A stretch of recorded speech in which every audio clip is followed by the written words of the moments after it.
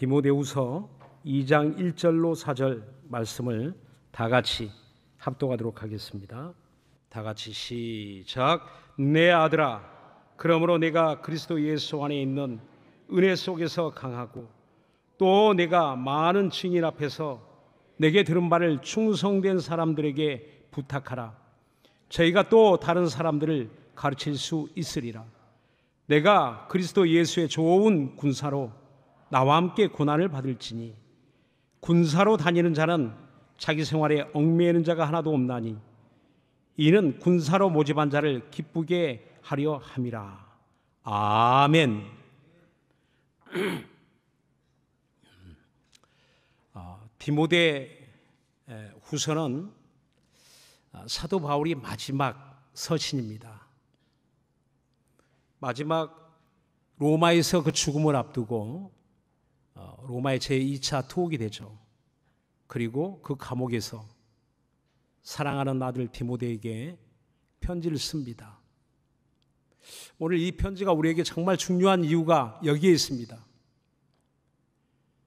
바로 그 사도 바울이 일생을 사역하면서 마지막 가장 사랑하는 자들에게 남기고 싶은 그 말은 무엇일까? 이제 죽음이 임박해 있는 얼마 남지 않은 그 시간 속에서 사랑하는 자에게, 사랑하는 아들 같은 디모데에게 그런 이렇게 편지합니다.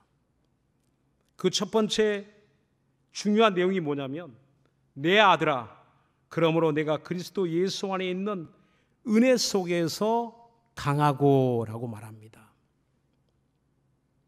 은혜 안에서 강한 자가 되길 원한다는 겁니다.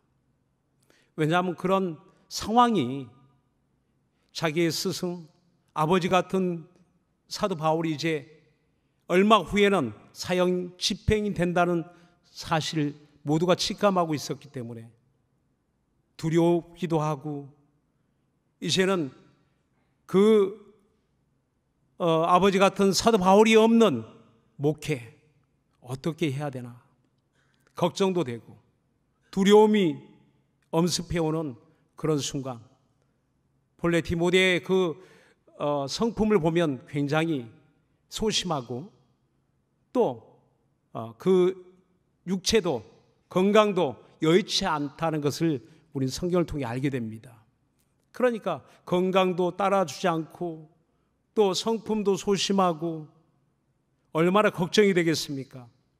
부모라면, 어머니라면, 아버지라면 그 자녀에 대한 얼마나 큰 걱정이 되겠습니까? 근데 사도 바울은 자식을 낳아본 적이 없어요. 키워본 적이 없어요. 혈육의 자식은 없지만 그런 진정 믿음 안에서 은혜 안에서 디모데를 얻었다, 낳았다라고 말하고 있습니다. 그렇습니다. 오늘 내가 자식을 낳아서 키우는 것도 물론 중요하지만 우리가 믿음 안에서 여러분 자식을 낳아 봤습니까? 믿음으로 낳아 봤습니까? 혈육으로 낳은 자식이지만 또 그 자식을 다시 믿음으로 낳아야 되지 않겠습니까? 거듭나게 해야 되지 않겠습니까? 바로 사도 바울과 디모데의 관계, 아버지와 아들. 부자지간 하나님과 우리와의 관계가 그렇지 않습니까? 내가 하나님의 자녀라면 하나님이 사도 바울의 마음처럼 그렇게 디모데를 걱정해 주고 염려해 주고 그리고 그를 향하여 이렇게 이야기합니다. 내가 은혜 속에서 강한 자가 되기를 내가 원한다라고 말합니다. 그렇습니다. 어쩌면 우리 모두는 예수를 믿는다고 하지만 우리 마음이 또 이렇게 유약할 때가 얼마나 많습니까? 변덕을 부릴 때가 얼마나 많습니까? 흔들릴 때가 얼마나 많습니까? 힘들고 어려운 일을 만날 때면 믿음이 막 흔들리잖아요. 믿음이 좋은 줄 알았는데, 나는 괜찮은 줄 알았는데, 여러분, 어려운 일을 당할 때는 정말 자기도 놀래요. 아, 내가 믿음이 이거밖에 안 되나? 눈물이 쏟아지고 포기하고 싶고 끈을 놓아버리고 싶고 물러서고 싶고 별의별 생각이 다 들게 되죠. 어쩌면 지금 이 순간 디모데도 그랬을 것 같아요. 이 시대적 환경이 그랬고, 교회적 환경이 그랬고, 또 자기가 당한 목회적 환경이 그랬습니다. 자기 육체의 환경이 그래요. 육체적으로, 정신적으로, 모든 것이 도망치고 싶은 그 자리에 있고 싶지 않은 숨고 싶은 그런 마음이었을 것 같아요. 그의 소심한 그런 성품을 볼 때 이것은 디모데만의 이야기가 아닙니다. 오늘날 저와 여러분의 이야기라고 하나님은 그렇게 보시기 때문에 오늘 이 성경 말씀을 통해서 오늘 사도 바울이 보내는 편지는 오늘 저와 여러분이 받아야 될 편지입니다. 내 아들아, 그러므로 내가 그리스도 예수 안에 있는 은혜 속에서 강한 자가 되라. 그렇습니다. 하나님은 우리가 다 넘어지고 쓰러지고 숨, 숨어버리고 포기하고 그런 자가 아니라 반드시 이겨내는 자, 극복하는 자 되기를 원하는데 그렇다면 그 힘과 그 능력은 어디서 오는 걸까요? 하나님의 은혜 속에, 하나님의 은혜 속에 있다는 겁니다. 하나님의 힘과 그 능력으로 강한 자가 되기를 원한다는 겁니다. 내가 어떤 훈련받아서, 내가 어떤 무엇을 이 세상의 수단과 방법을 준비해서 나를 강하게 하는 것이 아니고, 본래는 내가 약하지만 육체적으로, 정신적으로, 영적으로 대단히 약한 자지만 그러나 하나님의 은혜 안에 있으면 바로 하나님의 은혜 안에 함께 하시는 우리 주님이 내 안에 계신 우리 주님이 전능하신 우리 주님이 그분의 능력으로 저와 여러분의 마음을 붙들어주고 정신을 붙들어주고 모든 우리에게 닥쳐온 어려운 문제들을 해결할 수 있는 그런 힘의 근원이 되어 주시겠다는 겁니다. 할렐루야. 여러분 은혜 안에 있기를 예수님으로 축원합니다. 그래서 우리 교회 오면 제일 먼저 인사하는 말들이 은혜 받으세요라는 말들 많이 합니다. 집사님 은혜 받으세요. 또 우리가 청년 때 교회 나오신 분들은 형제님, 자매님 이런 이야기 많이 듣잖아요. 교회에서 가장 많이 듣는 이야기들 형제님, 자매님, 집사님, 성도님, 권사님, 안수집사님 우리 직분에 대한 이야기를 많이 호칭을 듣는데 그 다음에 말 바로 은혜 받으세요. 오늘도 은혜 받읍시다. 그렇죠. 교회 안에는 이 은혜보다 더 좋은 게 없다는 거예요. 은혜가 모든 것을 이기는 우리 믿음의 동력이 되고 믿음의 근원이 되기 때문입니다. 세상을 이긴 이김이 무엇이뇨? 우리가 가진 믿음이라고 했는데 그 믿음은 은혜 안에 머물러 있는 믿음, 은혜 밖의 믿음이 아니고 은혜 안에 주님이 힘 주시는 그 믿음, 그 믿음을 가져야 정말 이 어려운 때를 잘 극복할 수 있는 믿음의 사람이 된다는 겁니다. 오늘 그 첫 번째 그 사랑하는 아들에게 이와 같이 부탁하고 어, 두 번째 이절에 보니까 또 내가 많은 증인 앞에서 내게 들은 바를 충성된 사람들에게 부탁하라. 저희가 또 다른 사람들을 가르칠 수 있으리라. 라고 말합니다. 2000년이 지난 지금까지 교회가 사라지지 않은 그 이유, 그 능력은 어디에 있을까요? 교회는 무엇으로 이어져 왔을까요? 그 수많은 시간, 수많은 어, 그 역사적 환란을 견뎌내고 지금까지 교회가 존재하고 있는 이유. 그리스도의 복음은요, 천사들에게 부탁하지 않았습니다. 예수 그리스도의 진리는 사람과 사람을 통해서 연결되어 왔다는 겁니다. 하나님은 사람을 통해서 교회를 세우신 거지 천사들이 세상에 내려와서 천사들이 전도해서 세운 교회가 아니거든요.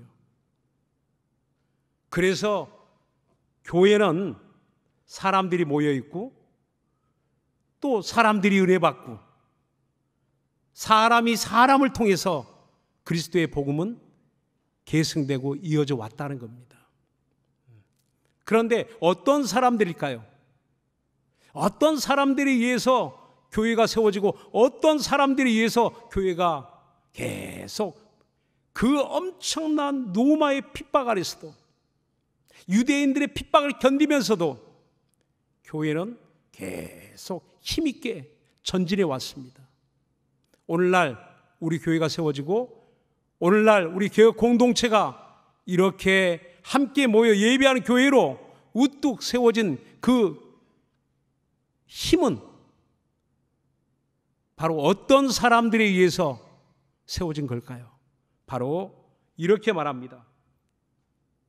내가 많은 증인 앞에서 내게 들은 바를 충성된 사람들에게 부탁하라 라고 말합니다.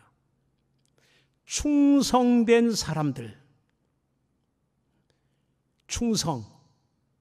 여러분, 어디서 많이 에, 사용하는 말일까요? 군대에 다녀온 사람들은 잘 알죠. 어, 충성. 이렇게 훈련소에서부터 그렇게 인사합니다. 만나는 상급차마다 충성. 구호가 충성이에요. 충성으로 시작하겠다는 겁니다. 충성으로 훈련을 버텨내고 충성으로 자기의 주어진 임무를 완수하겠다는 겁니다. 그런데 또한 성경에서 이 충성이란 말이 대단히 많이 사용되고 또 사람을 지칭하여 저는 충성된 증인이라 이렇게 성경 요한계시록에 말하고 있습니다. 그 어, 버가목 교회 요한계시록에 보면 일곱 교회가 나오잖아요. 그 일곱 교회 중에서 어, 버가목 교회에 주신 성령의 말씀이 있어요. 요한계시록 2장 13절에 보면 내가 어디 사는 것을 내가 아노니 거기는 사단의 위가 있는 데라 내가 내 이름을 굳게 잡아서 내 충성된 증인 안디바가 너희 가운데 고 사단이 거하는 곳에서 죽임을 당할 때에도 나를 믿는 믿음을 저버리지 아니하였도다라고 말합니다. 내 충성된 증인 안디바라고 말합니다. 아, 그는 나를 믿는 믿음을 저버리지 아니하였다라고 말합니다. 충성된 사람 그 충성의 의미는 무엇일까요? 누구에게 충성해야 될까요? 어떤 사람일까요? 그게 아니라는 겁니다. 오늘 충성이란 그 말이 군대 용어로서 군대에서 많이 사용하는 용어이기도 하지만 또한 우리 그리스도인들에게 그 말을 즐겨 사용하는 서신서에 나와 있는 내용을 보게 됩니다.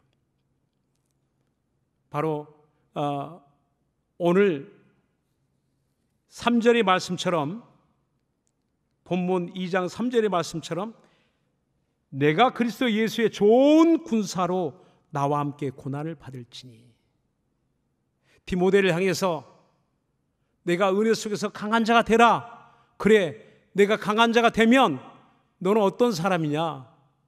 바로 그리스도 예수의 좋은 군사가 돼야 된다. 군사는 군사인데 군인은 군인인데 좋은 군인, 나쁜 군인 있다는 거예요. 좋은 군사가 되기를 원하, 원한다는 겁니다.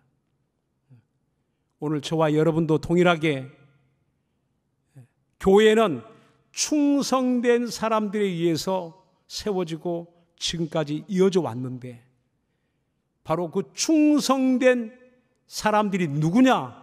뭐 하는 사람들이냐? 바로 군사라는 겁니다. 군인이라는 겁니다. 여러분 군대 다녀오셨나요? 직접 가보지 않았지만 자녀를 군대에 보내기도 하고 또 우리 남자분들은 다 군대를 다녀오기도 합니다. 어찌됐든 직접적으로 간접적으로 체험하죠. 군대라는 그 조직을. 거기서 일어난 일들을 여러 가지 그 이야기들을 듣게 됩니다. 군대가 뭐 하는 곳인가? 그렇죠. 우리 잘 알고 있어요.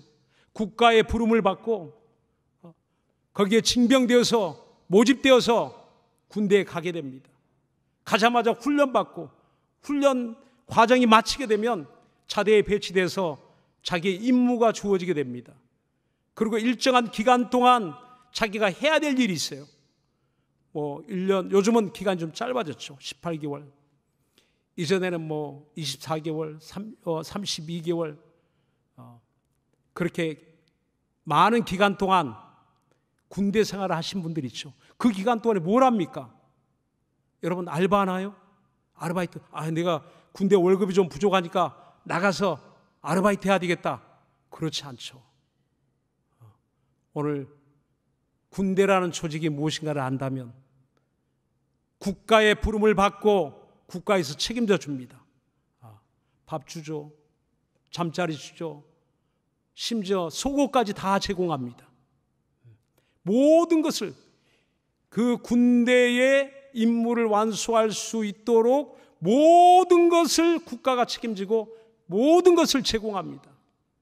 물론 사람에 따라서 부족하다 여길 수는 있겠지만 그러나 의식주에 관한 한 최소한의 생활할 수 있는 모든 것들을 제공합니다. 요즘은 군대 가서 적금을 든다고 합니다.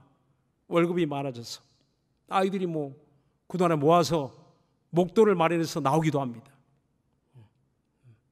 군대에서 필요한 것들을 더 많이 더 그 임무를 완수할 수 있도록 모든 것을 제공하는 겁니다. 좋은 군사는 무엇일까요? 오늘 이렇게 이야기합니다. 아, 바로 나와 함께 고난을 받을지니 고난을 피하지 않고 국가를 위해서라면 나는 내 목숨이라도 내가 바치겠다. 그런 마음과 그런 각오, 그걸 충성이라고 말하지 않겠습니까? 고난도 두려워하지 않는 당시에 이미 사도 바울이 죽음을 앞두고 그가 받아온 수많은 고난, 너도 받을 수 있어.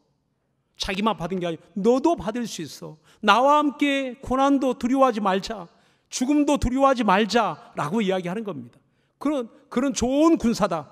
고난을 피하지 않는 주의 나라를 위해서 고난을 피하지 않는 이 세상의 군대는 세상의 군인은 나라와 민족을 위해서 국가의 부름을 받고 대통령, 대통령령으로 모집돼 가지고 군대를 갑니다. 하지만 오늘 저와 여러분은 누가 모집했습니까? 누가 우리를 불러냈습니까? 누가 우리로 군사가 되게 했습니까? 우리 주 예수 그리스도십니다. 할렐루야. 그렇습니다.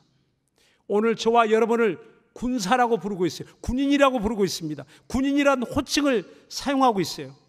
아, 나는 아닌데. 어쩌면 우리가 예수 믿고 나서 잠시 잊어버리는 일들이 있는 것 같아요. 나의 신분을 망각할 때가 있어요. 하나님의 자녀라는 신분, 그리고 하나님의 자녀이면서 주님이 부르시고 무장하게 하신 군대라는 사실, 교회는 군대요, 우리는 군인이라는 사실을 잊어버릴 때가 있는 것 같아요. 여러분, 이거는 정말 끔찍한 일입니다. 오늘 대한민국 육군 군인으로 부름받은 이들이 자기가 군인이라는 사실을 잊어버리고 그 자리에 있다면 어떻게 되겠습니까?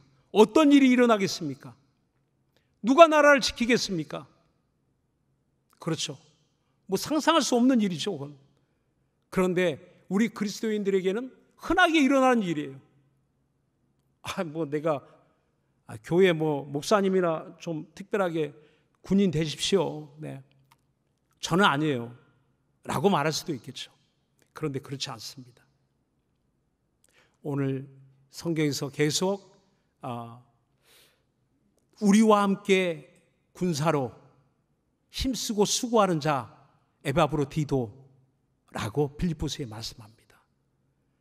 또 필레몬서에 아키포라는 그 어, 주의 일꾼을 향해서 동일하게 자기의 동역자를 그렇게 이야기합니다. 저는 나와 함께 군사로 모집된 자다. 나와 함께, 우리와 함께, 우리와 더불어 군인된 자. 다시 말하면 오늘 교회에 함께 여러분 주의 일하고 있는 사람들, 봉사하는 사람들, 직분을 맡은 사람들, 하나님의 부르신 일꾼들, 아니, 여러분 어떤 봉사에 직임이 없습니까? 그렇다면 여러분 전도자로 하나님 불렀어요. 세상의 전도자로 여러분 각자를 불렀습니다. 군사라는 겁니다. 군인이라는 겁니다. 저는 우리 아들 셋을 다 군대에 보냈습니다. 다 군대에 마쳤어요. 막내까지 다 제대했습니다. 아마 국가에서 훈장을 줘야 될 것 같은데 그걸 보면서 첫 번째 보낼 때 아 염려되더라. 아, 정말 훈련 제대로 받을 수 있으려나? 또 둘째 보내면서 걱정되죠. 셋째 보낼 때는 전혀 걱정이 안 되더라고요. 뭐 보내놓으니까 훈련 잘 받고 또 군대에서 다 월급 주고 책임져 주고 모든 것을 다 해주니까 그렇습니다. 오늘 하나님이 저와 여러분을 하나님의 군대로 우리를 불러내셨다면 하나님이 책임져 주신다는 것을 믿으시기 바랍니다. 하나님이 채워주신다는 것을 믿으시기 바랍니다. 아. 오늘 그래서 충성이란 말, 그 말 의미 안에는 충성된 사람들 오늘 설교의 주제이지만 그 말은 믿을 만한 사람, 그 피스토스란 그 원어의 의미를 보니까 신실한, 진실한, 신뢰할 만한, 믿을 만한 사람이라는 뜻이 있어요. 다시 말하면 하나님 보실 때 저는 믿을 만한 사람이다. 믿을 만한 군사다. 믿을 만한 군인이다. 라고 여긴다는 겁니다. 여러분, 자기 자신을 한번 살펴보세요. 우리가 정말 주님 보실 때 믿을 만한 사람입니까? 우리가 믿을 만한 사람입니까? 여러분 은행에서 대출할 때 믿을 만한 사람에게 대출해 주죠. 담보가 있고 신용이 있고 오늘 우리가 믿음으로 살아간다는 것, 그리고 교회에 봉사한다는 것, 교회 직분을 가지고 살아간다는 것, 내가 이 세상에서 그리스도인으로 살아간다는 것, 충성이 없이는 불가능합니다. 충성이 없이는. 첫째는 하나님의 은혜 받아야 되고, 은혜 안에 살아야 되고, 그 다음에 필요한 것이 있다면 충성, 충성된 믿음이에요. 믿을 만한 사람이 돼야 된다는 겁니다. 하나님 보실 때 믿을 만한 사람, 믿을 만한 군인, 믿을 만한 군인은 어떤 사람일까요? 오늘 이렇게 말합니다. 4절에 군사로 다니는 자는 자기 생활에 얽매이는 자가 하나도 없나니 이는 군사로 모집한 자를 기쁘게 하려 함이라. 믿을 만한 군인은 군사로 모집한 우리 주님을 기쁘시게 하는 자라는 겁니다. 잠언서 25장 13절에 이런 말씀이 있어요. 우리 같이 한번 합독하겠습니다. 잠언서 25장 13절 다 같이 잠언서 25장 13절 말씀 시작 충성된 사자는 그를 보낸 이에게 마치 추수하는 날의 얼음 냉수 같아서 능히 그 주인의 마음을 시원케 하느니라 라고 말합니다. 충성된 사람은 주인의 마음을 시원하게 한다는 겁니다. 얼음 냉수 같아서. 충성된 군인은 우리 주님의 마음을 시원하게 한다는 겁니다. 어떻게? 얼음 냉수 같아서. 오늘 그런 자는 자기 생활에 얽매이는 자가 하나도 없나니 예수의 좋은 군사, 그리스도 예수의 좋은 군사, 그리스도 우리 주님을 기쁘시게 하는 그 좋은 군사는 자기 생활에 얽매이지 않는다는 겁니다. 자기 생활에 얽매인 여러분 자기 생활을 무시하는 겁니까? 그 직장을 무시하라는 겁니까? 그게 아니죠. 다 하나님 주신 거죠. 하나님이 여러분에게 허락하신 환경들입니다. 그런데 그걸 무시하는 게 아니고 여러분이 직장을 다니고 학교를 다니고 여러분이 사업을 하고 모든 것을 할지라도 얽매이지 않는 것 거기에 휩쓸려 쓸려 내리 쓸려 내려가지 않는 것 거기에 끌려다니지 않는 것 나의 본연의 임무 군인의 임무 군인의 임무가 있다는 겁니다. 하나님 우리에게 주신 군인의 임무가 우리에게 부탁하신 군인의 임무가 있다는 겁니다. 그걸 위해서 내가 이 세상에 살아가면서 다른 일 때문에 방해받지 않는, 회방받지 않는, 오히려 도움을 받는 나의 직장이 나의 군인으로 살아가는데 도움을 주는 또 나의 사업이 내가 군인의 직무를 예수 그리스도의 좋은 군사로 내 직무를 감당하는데 도움을 주는 도움을 받는 그런 일이 되어야, 된다는 겁니다. 오히려 내가 직장 때문에 사업 때문에 내가 세상의 취미 생활 때문에 예. 어떤 분은 어떤 목사 어떤 우리 장독의 목사님 그 제가 한번 이야기를 들은 적이 있어요. 어, 그런 어, 새벽 기도가 끝나면 정선으로 간답니다. 정선에 가서 거기 그 어, 이 도박장이 있죠.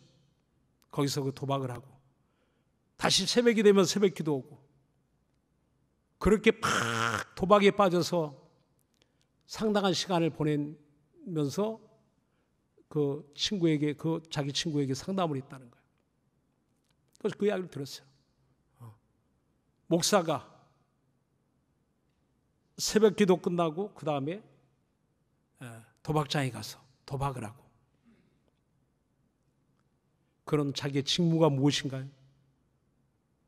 자기의 직무가 무엇이겠습니까? 뭐 극단적인 이해 같지만 오늘 저와 여러분이 주어진 나의 일들 어, 그리스도의 복음을 위한 나의 일 그리스도의 복음을 위한 목사에게는 목회가 있고 또 성도분들에겐 그 분량의 일들이 있는 것 같아요. 내게 주어진 분량의 일들. 세상에 나가서 빛과 소금이 되는, 소금이 되는 자기의 분량의 목. 이런 일들이 중요하지 않은 일이 아니고 오늘 그리스도 예수의 좋은 군사로 모집된 자는 이것을 위해서 우린 살아간다는 겁니다. 이것이 우리 주님을 기쁘시게 하는 일이라는 것을 믿으시기 바랍니다. 네. 여러분 그 1세기 그리스도인의 하루 이야기 얼마 전에 에, 일부 시간에 여러분의 여러분에게 그 추천했던 도서죠. 짧은 그 어, 페이지가 얼마 되지 않는 책인데 뭐 저도 읽어봤습니다. 그런데 여기 마지막에 이 내용의 주인공으로 나오는 푸블리오스라는 사람이 있는데 로마의 그리스도인이죠. 근데 예수를 믿은 지 얼마 안 됐어요. 어. 그런데 푸블리우스와 그 유니아라는 사람의 그 가정에 대한 일상의 이야기, 하루 이야기가 이렇게 나와 있어요. 예수 믿은 지 얼마 안 된 새 신자 가정의 이야기예요. 그런데 그때 당시의 상황이 로마의 대화재가 일어난 직후에 있었던 일상의 이야기입니다. 로마의 대화제 네로 황제가 있었던 그 당시 그리고 열흘 뒤에 그 일상의 이야기는 대화제 사건이 일어나는 그 직후의 일상의 하루 이야기고 그 다음에 이 사람이 어떻게 되었을까요? 바로 그는 끝 말미에 이런 이야기가 있어요. 끝으로 이 이야기를 마친 후로 나는 잠을 설치지 않을 수 없었다. 계속 반복해서 꿈을 꾸었다. 거리를 행진하는 군화 소리와 쿵쾅거리며 문 두드리는 소리, 가이사의 이름으로 명하니 문 열어라는 고함이 들렸다. 지난 밤에는 우리 노예 가운데 하나가 군인들이 문 앞에 와 있다고 외치는 소리를 들었다는 생각마저 들었다. 그저 악몽이었을 수도 있지만 닥쳐올 일들에 대한 불길한 예감이 아닐까 싶어 걱정을 떨쳐낼 수가 없었다. 그 밑에 푸블리스와 유니아는 다음 날 저녁 체포되었다. 체포되었다. 바로 대화제 그 사건을 그리스도인들의 소행이라고 덮어 씌웠죠. 억울한 누명을 씌웠죠. 그리고 막 잡아들이기 시작하고 엄청난 박해가 시작됩니다. 그리스도인들에 대한 로마에서부터 그리고 전 지역에 유럽의 아시아의 전 지역에 그 박해가 퍼지기 시작합니다. 에베소 교회도 그 당시 불과 이 편지가 전해지기 약 한 2년 내지 3년 전에 이 사건이 있었어요. 이 사건 속의 주인공 푸블리우스는 그 다음에 어떻게 되었을까? 과연 그런 그 닥쳐진 이 위기를 과연 이겨낼 수 있을까? 승리할 수 있을까? 그 일상에 담겨진 그의 내용들을 보면 아 저는 그런 생각이 들어요. 이 내용을 보면서 푸블리오스는 믿을 만한 사람이구나. 믿을 만한. 그의 일상에서 그의 삶을 볼 때 믿을 만한 사람, 충성된 사람. 아, 저는 배신하지 않을 사람, 포기하지 않을 사람. 그래서 충성이라는 의미 가운데는 끝까지 지속한다. 내가 처음 가졌던 믿음을 끝까지 지속한다 라는 의미가 있습니다.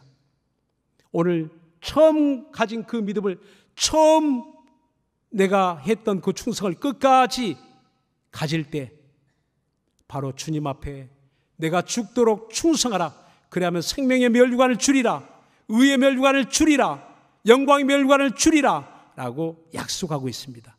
여러분, 우리 주님 앞에 믿을 만한 사람, 우리 교회에 믿을 만한 사람, 오늘 우리 모두 성가대에 믿을 만한 사람들이 앉아있지 않습니까? 이 보통 일이 아니죠. 7년 동안 믿을 만한 사람 그 자리에 앉아 있는 겁니다. 지자 믿을 만한 사람 그 자리에 있는 겁니다. 오늘 여러분들이 이 자리에 예배하며 하나님을 찬양하며 기도하며 예배하는 저와 여러분 하나님 보실 때 믿을 만한 사람들이라고 여겨집니다. 할렐루야. 우리 오늘까지만 아니라 오늘까지만 아니라 같이 오늘 요한계시록의 버가목교회 죽임을 당하는 순간까지도 저는 충성된 내 증인이었다. 그때도 10년 전에도 20년 전에도 30년 전에도 저는 내게 충성하던 사람이었는데 사람 앞에 아니라 하나님 앞에 우리 주 예수 앞에 충성하는 사람들이었는데 지금도 충성하더니 저의 마지막도 숨을 거두는 마지막도 충성하였구나. 바로 충성된 증인이었구나. 주님은 그렇게 우리를 향하여 기대하고 있습니다. 주님의 기대를 저버리지 말고 끝까지 우리 충성된 믿을 만한 사람, 믿을 만한 성도, 믿을 만한 봉사자, 믿을 만한 주의 일꾼들이 될 수 있기를 예수의 이름으로 축원합니다. 기도하겠습니다. 이 시간 우리 기도하실 때 가정도 충성이 깨어지면 믿음이 깨어지면 다 무너진 무너져 버리고 말죠. 부부지간에도 믿음이 깨지면 다 무너집니다. 신뢰가 깨지면 무너지죠. 믿을 만한 남편이 아내에게 믿을 만한 사람, 아내가 남편에게 믿을 만한 어? 남편, 믿을 만한 자녀들, 우리 자녀들도 그죠. 부모와 자녀 신뢰가 깨지면 아, 얼마나 답답합니까? 부모의 심정이 막 무너지죠. 자녀의 어떤 신뢰가 깨질 때, 어, 막 의심이 갈 때는 막 억장이 무너지죠. 부모의 마음은. 우리 하나님도 그러실 것 같아요. 하, 마음이 막 무너지실 것 같아요. 신뢰가 깨어지니까, 믿음이 깨어지니까 이 시간에 우리 기도할 때 주여 다시금 충성이 세워지는 가정, 믿음이 세워지는 가정, 다시 한번 충성된 사람들로 가득 찬 우리 개혁 공동체, 우리 예배당, 우리 식구들 되게 하여 주옵소서. 우리 예수 한번 부리고 내가 먼저 충성된 사람으로 끝까지 살아갈 능력이 있게 도와주옵소서. 우리 예수 한번 부리 기도합시다. 예수여!